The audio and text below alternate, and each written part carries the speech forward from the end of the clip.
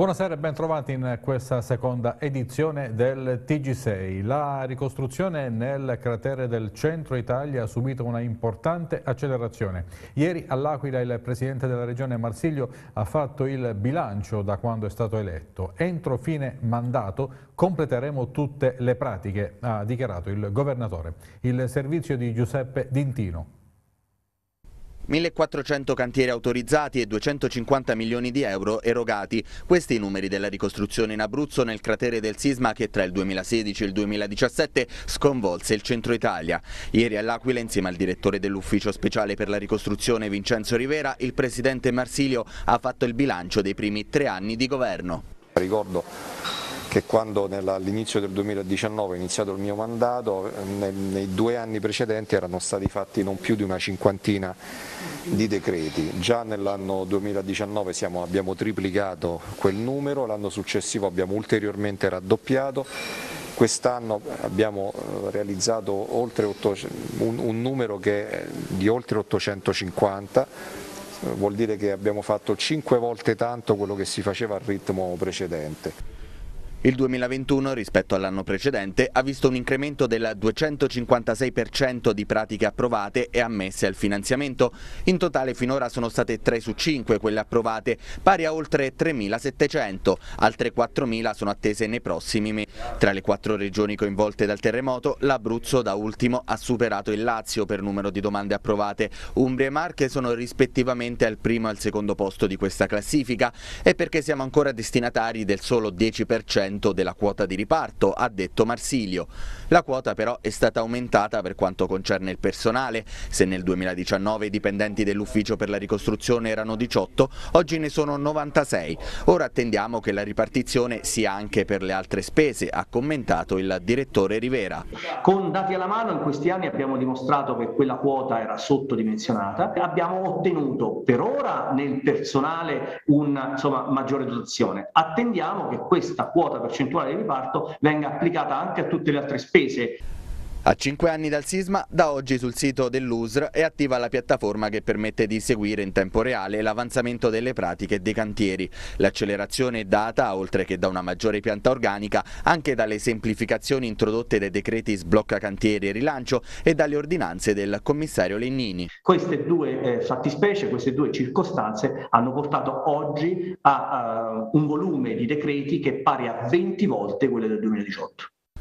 Entro fine mandato, cioè il 2024, adempiremo a tutte le pratiche, ha promesso Marsilio. Entro la fine del mandato noi avremmo dire, esaurito tutte le pratiche e messo in piedi una ricostruzione reale e concreta del nostro territorio. Rivera invece è più cauto. Il tempo c'è, ma dipenderà dalla risposta del territorio, ha dichiarato il direttore al TG6. Il bollettino eh, Covid sono 1872 nuovi casi di Covid-19 accertati nelle ultime 24 ore in Abruzzo, 946 sono stati identificati attraverso test antigenico rapido. Il tasso di positività calcolato sulla somma tra tamponi molecolari 6.111 e tamponi antigenici 12.867 è pari al 9,86%. I nuovi positivi hanno età compresa tra un mese e 98 anni e provengono 452 542 dalla provincia dell'Aquila, 542 da quella di Chieti, 366 da quella di Pescara, 442 da quella di Teramo, 37 da fuori regione, mentre per 31 sono in corso accertamenti. I guariti nelle ultime ore sono 3.569, mentre gli attualmente positivi sono in calo di 1.704 unità ed ora sono 107.931. In flessione i ricoveri, 508 in area medica, meno 7 rispetto a ieri, 28 in terapia intensiva, dato invariato. Si registrano 5 decessi recenti, due sono risalenti ai giorni scorsi e sono stati comunicati solo oggi dalle ASL, mentre gli altri tre riguardano pazienti di età compresa tra 76 e 88 anni, due in provincia di Teramo e uno in provincia dell'Aquila. La prevalenza della variante Omicron in Abruzzo raggiunge il 100% ed è quanto emerge dalla flash survey condotta dall'Istituto Superiore di Sanità e dal Ministero della Salute, della Salute condotte insieme ai laboratori regionali e alla Fondazione Bruno Kessler sui positivi dello scorso 31 gennaio. In particolare su 1231 nuovi casi positivi al eh, tampone molecolare sono stati 51 quelli sequenziati a campione. Dalle attività di sequenziamento è emerso che tutti sono riconducibili alla variante Omicron. Nessun caso dunque è dovuto alla variante Delta. L'Abruzzo è una delle 11 regioni in cui Omicron è al 100%, la media italiana è del 99,1%.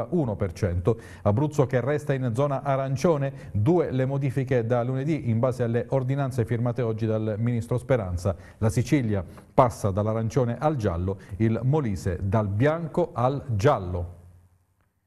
E ora cambiamo pagina, gli orti urbani di via Santina Campana a Pescara e l'area verde attrezzata adiacente recuperati nel 2018 dopo un lungo abbandono rischiano di essere cementificati per la scelta della giunta Masci come denuncia il PD. Paolo Renzetti.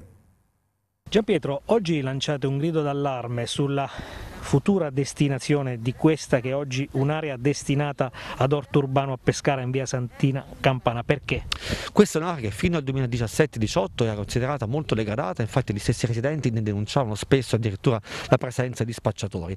Con eh, la scelta di farci qui degli orti urbani e un parco attrezzato, quest'area eh, è stata fortemente rigenerata. Oggi, anzi ieri, abbiamo scoperto eh, in eh, commissione che proprio questo sito, che è un'area verde, dovrà, eh, anzi eh, è stata scelta dalla Giunta Masci come uno dei luoghi dove sorgeranno nuovi asili nido.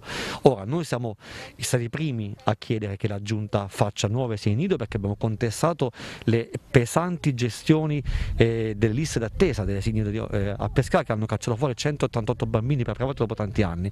Siamo disponibili ad aiutare la Giunta a trovare siti che non siano aree verdi attrezzate che vorrebbe dire fare un passo indietro perché ci vogliono gli asili nido, ma scegliere proprio un'area che è attrezzata attrezzata che, che è vissuta eh, dai, dai, eh, dai, residenti per distruggere una bella esperienza di verde attrezzato vuol dire andare anche contro quello che il PNR richiede. E pensare che, che debba essere sottratta al quartiere per farci un'altra struttura quando ci sono tantissime alternative a partire dalle scuole perché siamo, siamo, siamo, sicuri che se chiedessimo alle dirigenti scolastiche dei tre comprensivi del quartiere Colli Ospedale di individuare un'area adiacente alle loro scuole per realizzare gli asili nido sarebbero credo le più contente perché si realizzerebbe quell'integrazione eh, fra gli asili nido e le scuole dell'infanzia che è richiesta dal, MIUR, dal Ministero stesso dell'istruzione quindi davvero chiediamo alla Giunta di fare un passo indietro anzi di fare un passo avanti verso la partecipazione e ci andiamo da subito eh, a disposizione per eh, trovare insieme un nuovo sito per l'asilo nido. Il deputato leghista ex 5 Stelle Antonio Zennaro ha incontrato stamani il nuovo eh, prefetto di Teramo Massimo Zanni. Serve più polizia, ha detto il parlamentare. Ascoltiamolo. Abbiamo fatto questo incontro con il nuovo prefetto di Teramo sul tema della sicurezza nella città di Teramo un tema sentito da tanti cittadini teramani perché negli ultimi mesi ci sono stati tanti furti, ci sono stati scontri anche tra bande giovanili, è un tema sentito. Eh, siamo al lavoro per, come Lega a tutti i livelli anche per potenziare il lavoro che eh, oggi fanno in maniera straordinaria gli uomini e le donne delle forze dell'ordine, però eh, servono più uomini e più mezzi per garantire un maggiore presidio sul territorio della città di Teramo. Siamo stati anche attaccati dal sindaco D'Alberto, ma non siamo qui per fare polemica, ma per rispondere a un'esigenza molto sentita dai cittadini teramani. La cronaca, tre persone, un 42enne di Montesilvano e un cinquantenne e un ventenne di Penne eh, sono finite in carcere a Vasto. Altre due, un 27enne di Penne e un 36enne di Montesilvano, eh, sono state sottoposte ad obbligo di dimora in quanto responsabili a vario titolo di detenzione spaccio di stupefacenti ed estorsione. L'operazione è stata condotta dai carabinieri della compagnia di Penne, coadiuvati da quelli della compagnia di Montesilvano. Le indagini coordinate dal PM di Pescara, Gabriella De Lucia, sono partite dopo una perquisizione a casa di un giovane della provincia di Teramo e il rinvenimento di droga e hanno portato alla luce una serie di cessioni di stupefacente, in particolare cocaina, al suddetto cliente con un giro d'affari di circa 1000 euro a settimana e di 150.000 euro in tre anni. A fronte di pagamenti sempre meno puntuali il giovane teramano è stato vittima di intimidazioni per saldare le spettanze arretrate. Nel corso delle perquisizioni nella abitazione di uno degli arrestati, eh, diventata centrale dello spaccio, sono stati rinvenuti un chilo di cocaina, 400 grammi di hashish e 40 grammi di eroina, materiale per il taglio e il confezionamento delle dosi e poi ancora due pistole con matricola a brasa e una patente falsa. Il comune di Pescara e il comprensivo 7 hanno ricordato oggi con una cerimonia i martiri di Colle Pineta. Vediamo. Le amministrazioni comunali di Pescara e Chieti hanno reso omaggio questa mattina alla memoria dei nove martiri di Colle Pineta che immolarono la loro vita per la libertà l'11 febbraio del 1944.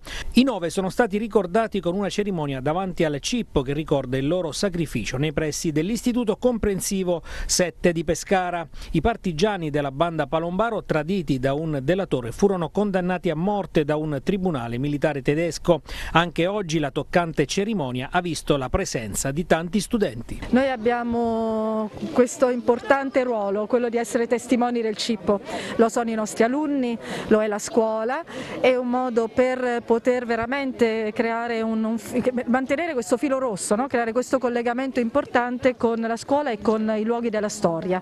Questo spazio è stato testimone eh, di un evento drammatico ma deve essere in questo modo foriero di eh, valori quali la pace, quali la libertà, quali la democrazia, quali tutti quelli in cui noi crediamo e su cui costruiamo il nostro percorso formativo. Importante anche, e lo vediamo eh, pure oggi, eh, la presenza dei ragazzi delle scuole perché è giusto che anche loro possano conoscere quella che è stata la nostra storia. Assolutamente fondamentale considerando che costruiamo parte del nostro curricolo partendo da questo luogo, partendo dai valori della storia e da un percorso formativo che diventa ancora più eh, significativo se legato a un evento concreto e a un luogo quale la nostra città in cui noi siamo testimoni ma anche custodi della memoria. Così come è accaduto 12 mesi fa a Pescara la notte scorsa, giovani poi identificati dagli agenti della Digos hanno gettato la corona deposta ieri in ricordo delle vittime delle foibe in una fontana. Indignato il sindaco Carlo Masci, vediamo. Non so come qualificare questi gesti stupidi, imbecilli, folli, scriteriati. Eh, invece di vivere in pace si continuano a fare gesti insulsi eh, come eh, il danneggiamento di una corona messa per ricordare dei morti italiani, dei martiri italiani. Eh, veramente è inqualificabile quel gesto. Eh, ieri sera, stanotte, la Digos ha preso questi giovani e, e questo è molto importante perché evidentemente c'è un controllo costante in città, possiamo essere sicuri e tranquilli delle nostre istituzioni delle forze dell'ordine che operano in città, però questo gesto veramente è vergognoso eh, e purtroppo si ripete ogni volta perché l'anno scorso è successo per due volte, noi abbiamo rimesso la corona tre volte e due volte è stata danneggiata, adesso la rimetteremo nuovamente perché apporremo la corona in piazza per ricordare gli esuli e i martiri eh, di quel periodo eh, che sono stati infoibati. Un traguardo importante per la sicurezza su ferro sono stati acquistati oggi da Tua, l'azienda di trasporto pubblico, tre convogli ferroviari innovativi per un investimento di oltre 34 milioni di euro. Inizieranno a viaggiare dal 2023. Serenia Secondi.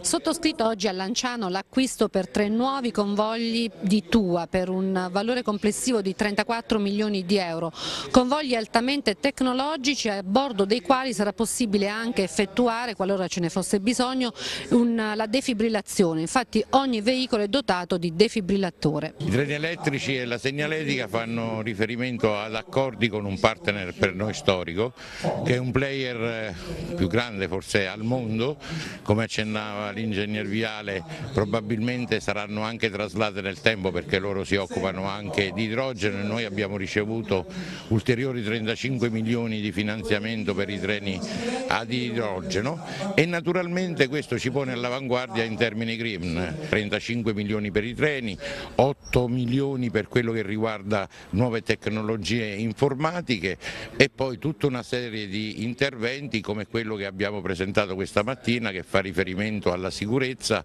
che è la scelta di dotare eh, i treni che abbiamo già a disposizione di defibrillatori per intervenire con immediatezza e con uh, sicurezza per quello che riguarda ipotesi di eh, impatti cardiologici sui treni abruzzesi. I tre nuovi POP 2.0 con Radio Stream hanno 305 posti a sedere e 534 in totale con i posti in piedi. Un investimento per quasi 16 milioni di euro riguarda anche i lavori di progettazione esecutiva e di realizzazione di un impianto di segnalamento e di sicurezza sulle tratte Lanciano San Vito e Fossa Cesia Torin di Sangro Archi. Questi impianti permettono di uniformare le stesse agli standard in uso sulle infrastrutture nazionali. I tempi di realizzazione sono di circa 18 mesi. I treni sono eh, super accessoriati di tutta una serie di nuove opzioni che vengono offerte ai cittadini abruzzesi, tengono anche riferimento e riguardo per quello che riguardano portatori di handicap eh, e, con, e, che si modula in maniera importante col sistema di tracciamento, un sistema di segnalazione e tracciamento che noi abbiamo in qualche misura opzionato nel 2019 quando nessuno in Italia aveva sostanzialmente fatto questa scelta, siamo stati antesignani in questo senso e subito dopo di noi sono venuti anche player importanti come RFI che ha scelto lo stesso sistema. Per il nono anno Chieti celebra Charles Darwin, tradizionale appuntamento di WWF Chieti eh, Pescara e Museo Universitario. Relatore di questa edizione è il professor eh, Maurizio Biondi, docente ordinario di zoologia presso l'Università dell'Aquila. Stefano Recanati. Tutto il male non viene per nuocere, Darwin uomo e Darwin scienziato, e questo è l'intrigante titolo scelto dal professore Maurizio Biondi per l'edizione 2022 del Darwin Day. Alle classi del liceo scientifico Filippo Masci, che tradizionalmente partecipano all'evento, si sono aggiunti infatti una classe di prima media della scuola Antonelli di Pescara, il liceo Maior di Pescara e l'istituto Volta. L'obiettivo è quello di far comprendere alle nuove generazioni la teoria dell'evoluzione, la realtà in cui adesso vive l'uomo. Cerchiamo di ehm far conoscere Darwin, far conoscere la teoria dell'evoluzione, far conoscere la realtà nella quale viviamo. In realtà è una scusa per parlare di scienza e ogni anno parliamo di scienza. Quest'anno proprio di Darwin col professor Maurizio Biondi, Università dell'Aquila, che ci racconterà aneddoti particolari di Darwin per spiegare come, come è arrivata alla sua eh, scoperta straordinaria e come si, oggi ci condiziona ogni giorno. Non è la specie più forte che sopravvive né la più intelligente, ma quella che risponde meglio ai cambiamenti. È la citazione che in questo periodo si legge spesso. Per molti questa frase però non è mai appartenuta al papà dell'evoluzione, che riprese dal filosofo Spencer nel 1869 definendola più accurata per spiegare il concetto di selezione naturale. Questi ultimi due anni abbiamo vissuto un, un periodo veramente terribile con eh, il, il Covid, questa pandemia che ci ha condizionato in maniera tremenda e continuiamo a comportarci come se fosse eh, come se fossero altri problemi. Occorre cambiare strategia e la pandemia ce l'ha detto, occorre puntare al benessere individuale, a un ambiente migliore, salvaguardare la terra perché noi senza la terra non possiamo vivere ed è inutile che parliamo di conquista della Luna, di Marte e delle stelle perché ci vorranno millenni, l'uomo non farà in tempo se prima non salva la terra. Atto finale questa mattina di Start Impresa, il progetto fortemente voluto da Confindustria Pescara Chieti per premiare le migliori idee della nuova imprenditoria. Vediamo. Con le premiazioni di questa mattina si è chiuso Start Impresa, il corso di formazione specialistica per lo sviluppo della nuova imprenditoria promosso dalla sezione servizi innovativi di Confindustria Chieti Pescara e giunto alla sua undicesima edizione. Cinque progetti giunti in finale presentati dagli aspiranti imprenditori e valutati dalla giuria di esperti. Start Impresa non è un semplice contest che premia l'idea migliore, ma un percorso formativo che fornisce agli imprenditori del domani gli strumenti adatti per per costruire il motore e far volare le loro idee, permettendo ai partecipanti di capire realmente come costituire un'azienda o una start-up di successo e impostando un progetto d'impresa. Start Impresa è un'iniziativa che portiamo avanti ormai da ben 11 anni, questa è l'undicesima edizione e eh, dà l'opportunità a chi vuole, ha un'idea, chi vuole eh, avviare una propria attività imprenditoriale di ehm, venire a conoscenza di quelle di nozioni di base che gli permetteranno poi di avviare la propria attività. È un, eh, non è un contest in cui andiamo a premiare l'idea migliore, ma è proprio un, un percorso formativo e oggi andiamo a, a concludere questo percorso eh, premiando i migliori business plan perché il tutto è finalizzato poi alla costruzione di un, uh, di un business plan che è il, lo strumento principale poi per eh, diciamo, questi i nostri discenti per andare poi a, a, a banche, diciamo, a uh, venture capitalist per farsi poi finanziare il, il loro progetto.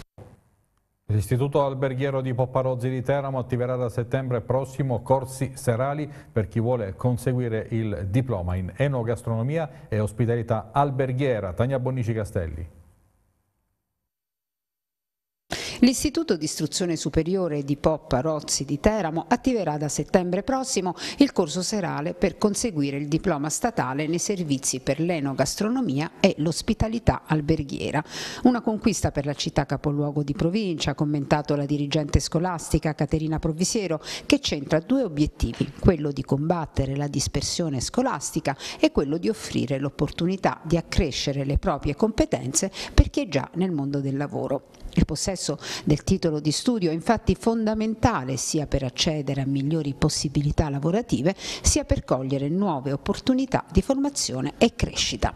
Aprire attività in proprio, accedere a concorsi pubblici e avanzare nella carriera sono solo alcune delle mete raggiungibili grazie anche alle competenze acquisite nel percorso che porta il diploma.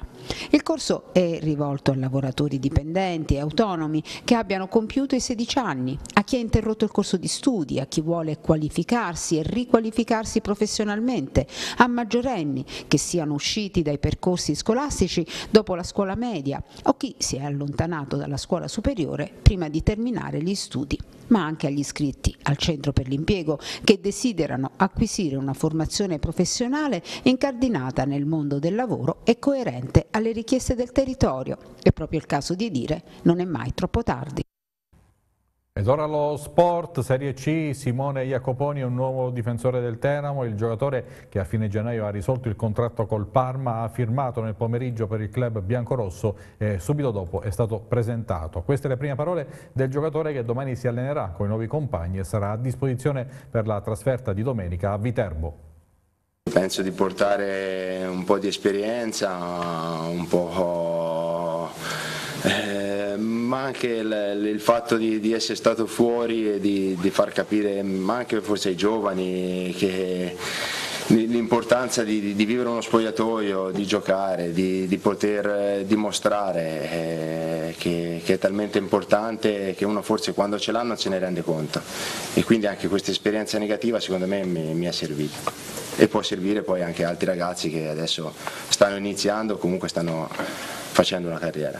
No, ma è stato tutto, tutta la, la, società, oltre al mister che già, che già conoscevo, è, è proprio diciamo, l, l, il progetto, la, la, città, come ha detto il Presidente, l'obiettivo che poi sarà questo e anche le, le prospettive, lo stadio, tutto.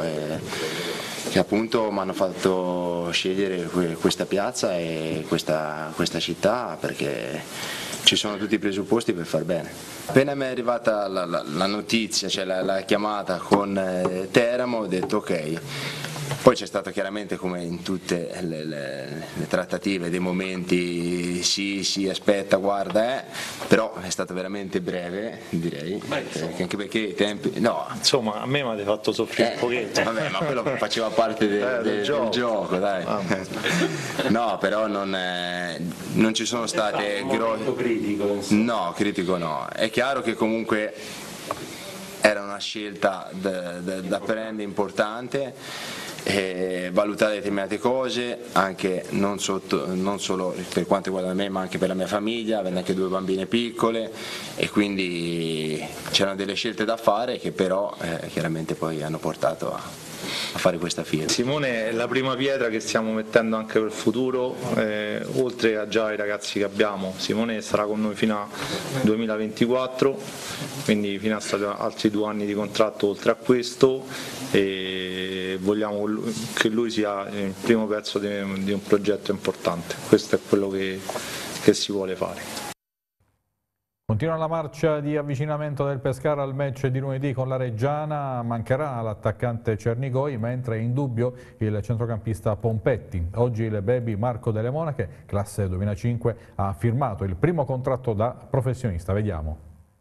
Sarà quasi certamente un Pescara con qualche assenza di troppo quello che lunedì sera sfiderà la Reggiana al Mapei Stadium, al contrario di alcune erose previsioni di inizio settimana. Va verso il forfè l'attaccante Jacopo Cernigoi che ha accusato un problema muscolare alla coscia destra e da tre giorni non si allena. Il giocatore proveniente dal Seregno domenica era stato titolare contro il Gubbio, la sua seconda presenza dopo quella con la Carrarese da subentrato. Ma se questa assenza si sentirà di meno perché Auteri ridarà una maglia da titolare al cannoniere Ferrari titolari. Un po' di apprensione c'è per le condizioni di Marco Pompetti, autentico faro del gioco biancazzurro, che anche oggi si è allenato a parte e la sua presenza al Mapei Stadium è tutt'altro che scontata. Mancherà ancora Memusciai per il problema alla caviglia, così Auteri avrà come punto fisso del centrocampo Pontisso. Al suo fianco, se Pompetti non ce la dovesse fare, ci sarà un ballottaggio tra Derisio e Diambo. Molto dipenderà dalle condizioni dell'ex Baire Catanzaro, che è tornato ad allenarsi questa settimana dopo dieci giorni ai box per il il Covid.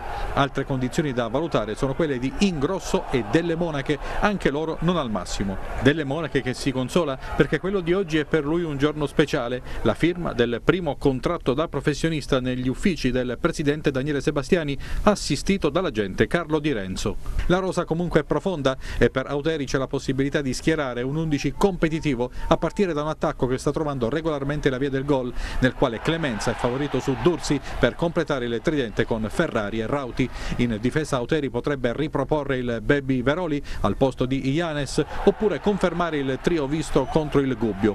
Sul fronte reggiana l'esperto portiere Giacomo Venturi non dispera per il sorpasso in vetta subito dal Modena e conta di poter riprendere al più presto il primo posto. Pescara è la prima di 14 finali, dice, e sul match di lunedì, intervistato da tuttoreggiana.com, aggiunge.